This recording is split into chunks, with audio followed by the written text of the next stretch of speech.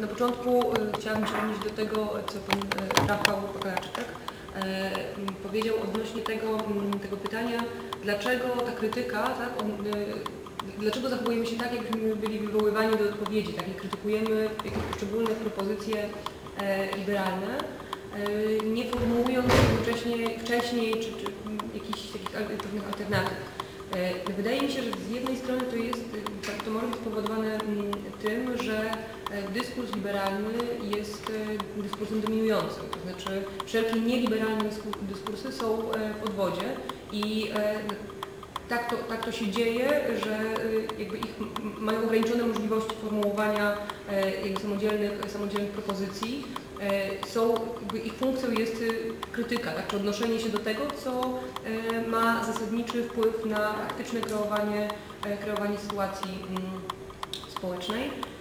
E, Co oczywiście nie znaczy, że ta krytyka powinna i, i wydaje mi się, że właśnie że to jest bardzo ważne, żeby o tym pamiętać, że, że, że, nie, nie powinniśmy krytykować takich zjawisk jak na przykład komercjalizacja edukacji czy komercjalizacja służby zdrowia e, w sposób taki bezkontekstowy, to znaczy w oderwaniu od, o- od tego, z czym to, jakby z czym to się wiąże, czy, czy, czy, czy z czym jest spójne, tak? z, jakim, z, z jakiego rodzaju modelem czy, czy paradygmatem jest, e, jest to spójne. Także tutaj e, zgadzam się z tą obawą, a jednocześnie trochę, trochę rozumiem jakby taką, e, taką może nie, niesymetryczną, niesymetryczną sytuację. E, Jeżeli chodzi o te, mm, o te propozycje zmian w szkolnictwie wyższym, do Pani Agnieszki, e, do Pani Agnieszki Grzybiak odpowiedź, e, faktycznie są takie dwie, mm, są dwie strategie i jedna propozycja, tak, jedna propozycja e, nowelizacji ustawy. E, Tak, strategia RZNDiak przygotowana na zamówienie ministerstwa e, i w, pewnym, w pewnych momentach, czy w wielu momentach zbieżna z tym projektem nowelizacji ustawy prawo o szkolnictwie wyższym i ta kontr, znaczy czy ona jest kontr, to ja nie wiem, bo to, to, to jest tak, to jest na pewno alternatywna propozycja, propozycja e, Kraspu. E, przy czym one są w wielu, one, one są w wielu momentach bardzo spójne i, i jedna i druga, znaczy ja bym powiedziała tak, że propon, proponuje mm, część, rozwiązania częściowo związane, czy te, które byśmy nazwali częściowo komercjalizującymi. Krasp idzie pełną parą, że tak powiem. E, no, zdecydowanie, zdecydowanie bardziej mm, silniej chce mm, pogłębić tę kom- komercjalizację.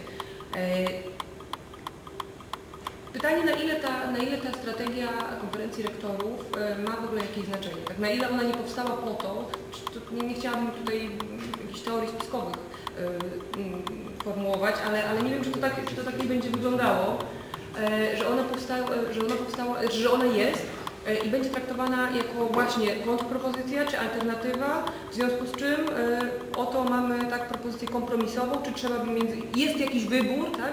E, moim zdaniem jest to wybór pozorny, e, a poza tym z góry przesądzony, tak? Bo wiadomo było, że ministerstwo, gdzie ministerstwo zamówiło, zamówiło taką strategię i, i, i z którą z tych strategii spójna jest, e, spójna jest propozycja nowelizacji.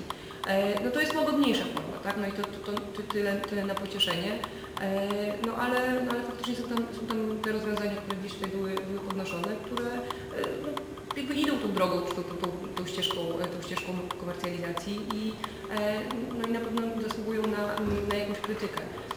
Jak jest, jeżeli chodzi o formułowanie jakichś takich realnych kontrpropozycji, no to jest mi ciężko, ciężko mi powiedzieć. Mogę powiedzieć tyle, że e, na Uniwersytecie Wrocławskim, z którego, z którego ja jestem, e, taka inicjatywa pojawiła się oddolnie od, wśród studentów i doktorantów. Tak?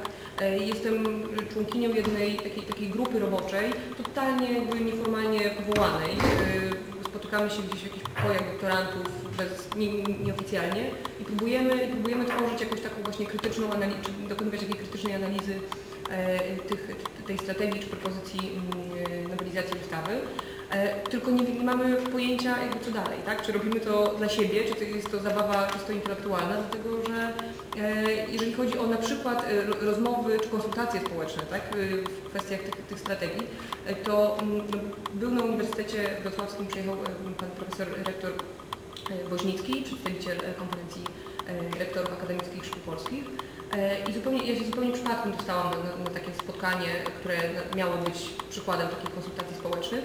E, No i polegało to na tym, że została przedstawiona ta strategia, e, strategia rektorska E, Nie było czasu na pytanie, nie było czasu na uwagi. Jak pojawiały się gdzieś jakieś, jakieś pytania czy uwagi krytyczne, to były automatycznie zbywane e, brakiem czasu. E, Zostali, na to spotkanie zostały, zostali zaproszeni, zostały zaproszone osoby z klucza, to znaczy tak ci dziekani czy te, te, te władze e, uczelniane, o których było wiadomo, że, e, że popierają gdzieś tą, e, gdzieś tą strategię. W związku z tym ja, ja, ja nie widzę jakiejś szansy na przebicie się E, czy, czy na taką autentyczną, e, możliwe, autentyczną możliwość zabrania głosu w e, tych tak zwanych konsultacjach społecznych. To tyle.